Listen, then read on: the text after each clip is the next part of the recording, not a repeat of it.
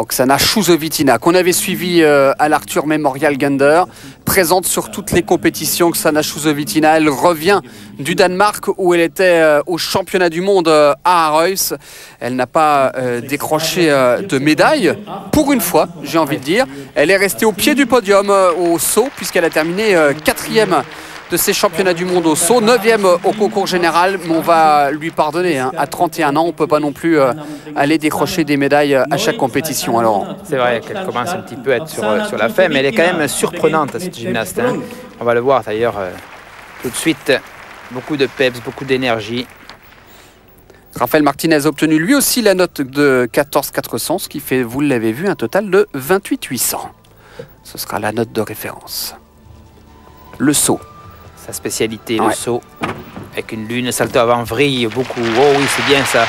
Beaucoup d'amplitude là.